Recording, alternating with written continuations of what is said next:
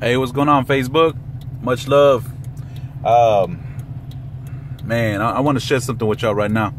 So, um, as I was driving, I was driving home. You know, we're we're going through this little bit of a, you know, rainstorm over here in Dallas, and um, I was driving, I was driving and everything, and I'm passing this QT by this busy intersection, right?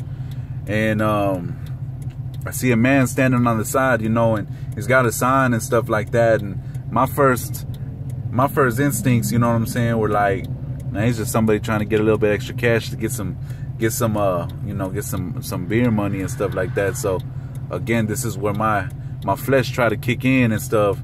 But as I pass him, as I'm driving, I see uh I see a stack of clothes. I see a suitcase. I see some blankets and stuff like that, and I could tell, you know, this this man was for real. Anyway, long story short, so I pass him up and I go about two, maybe about a mile and a half, two miles down, and I got to get some gas in my truck.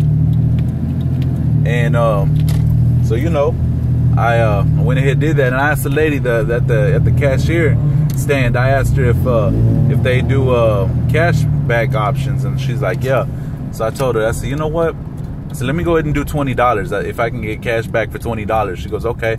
So I went on and did that and the whole time the Holy Spirit was talking to me, go back to him, go back to him. I said, yes, Lord, I will. And the whole time I was driving down that way, I'm thinking, dang, it's going to be a busy intersection. How am I going to stop?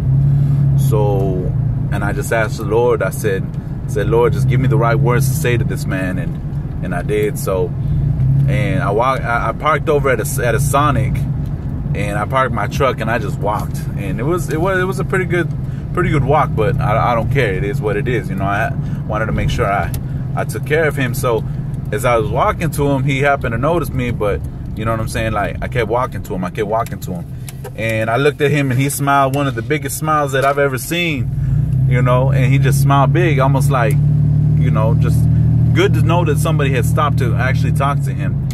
And I said, I looked at him, I said, I said, hey, my brother. I said, um, I said, uh, how's your day going today? He's like, man, it's, you know, it's crazy, but but God God lives and you know God is good. And I said, Amen. And I said, well, uh, I got something to tell you. He goes, what's that? He's, I, he said, I told him, I said, I was driving and uh, I didn't know how to talk to you before because, you know, this intersection is so crazy. He goes, okay. I told him, uh, God told me to turn back around and come tell him to talk to you. And uh, he wanted me to bless you. And he just smiled so big. And I asked him what was going on. He says, well, me and my mother and my dog, you know, he pointed over there at this abandoned uh, building. And he goes, uh, we're right now, we don't have any place to live.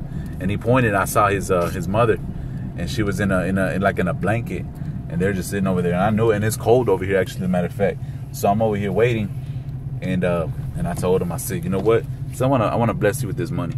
I said, I don't know what your situation is, but but I want to bless you. And I blessed him with 20 bucks and I told him, I said, uh, I said, God loves you, regardless, whatever your situation going through, God loves you. And he wants me to tell you that whatever it is that y'all are going through, that he's going to shelter you and he's going to continue to love you. And he, he just seeks your heart right now. And I told him that and he just, he was smiling and he just gave me a hug. And I said, I want to pray for you. And, uh, and I prayed for him right there in the middle of a busy intersection. You know what I'm saying? And I prayed for this man. I prayed for his family. This is over his situation.